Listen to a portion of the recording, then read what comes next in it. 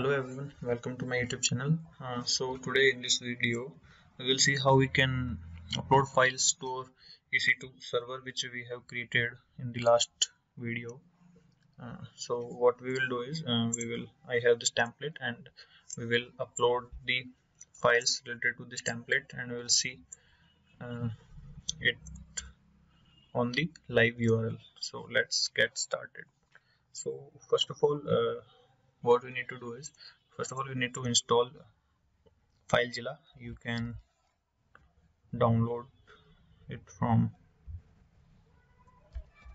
FileZilla client and go to filezilla filezilla.org and download the FileZilla client.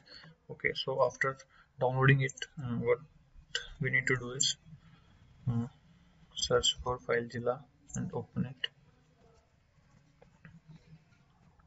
and now we need to create a new site here.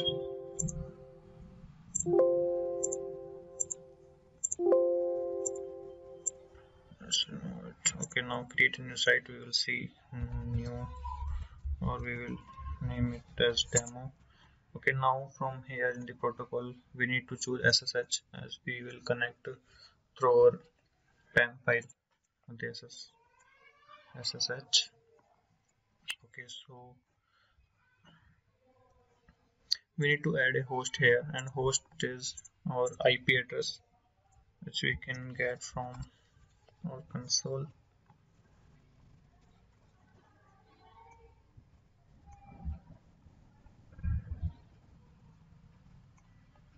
Go to EC2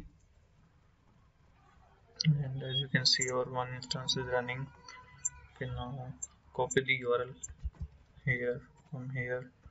And in the login type we will use a key file and user should be ubuntu. And key file is which we have downloaded in the previous video while creating the server.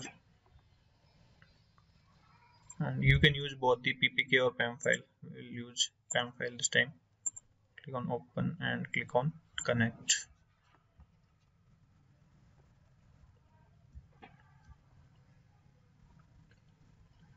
okay as you can see we are connecting connected towards the our server. So for apache's html directory is placed at slash var www slash html so all the files related to our website are uploaded in this directory. So as you can see we on currently we have a apache default page so what we need to do is we can delete it from here. And now actually first of all we need to give the required permission to our html folder. So we can uh, delete or add some new files. Okay so to give permission we need to connect with putty to our server. So need to do is let's connect it. Fetch or we can you you can also save a session. Putty we can save it as demo. And can save and here now to do. Password ssh auth and the ppk file. Session and save. Click on open okay now we need to cd into this directory cd slash var www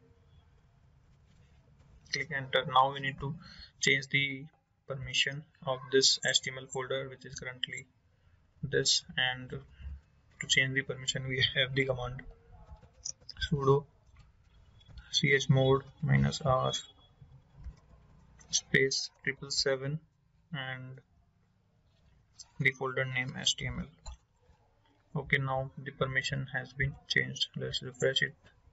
And as you can see permission has been changed. And now we can delete this file from here. And now we can upload the files of our project. So we have I have these files. Let's select it select all and just put it here so as you can see all files are now uploading in the server.